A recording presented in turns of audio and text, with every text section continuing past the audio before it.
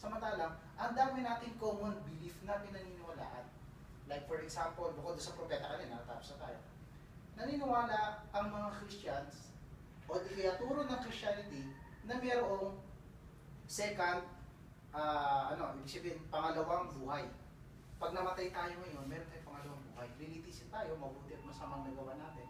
And then, si God, ang Diyos natin, o si Allah, ang mag-decide, impyerno tayo or.